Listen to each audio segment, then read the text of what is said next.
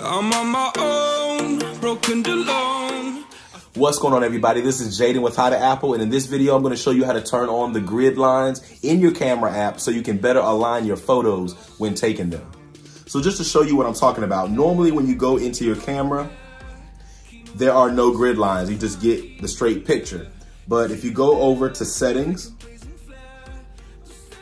and if you scroll down to where you see camera, you'll then see where it says grid. You're gonna flip that on. Now, when I go to my camera, you will now see the grid lines. Those grid lines will help you align your pictures if you wanna take something perfectly center or whatever. And of course, my battery's about to die, but that is how you add the grid lines to your camera app. So hopefully you were able to follow along pretty easily. If you like this video, give it a like. Leave a comment below if you have any questions. I'll definitely reply to you. Subscribe to my channel so you can learn how to APPL without the E.